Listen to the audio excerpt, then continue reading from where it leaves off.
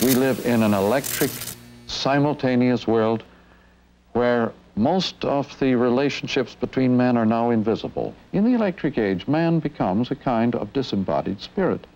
I don't think our institutions have any way of coping with this new dimension of man. The media uh, have become a kind of all-encompassing, all-embracing uh, environment of service.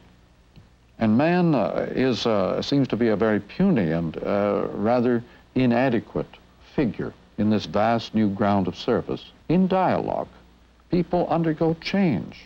It isn't just the passing of gossip back and forth. However, we can switch off.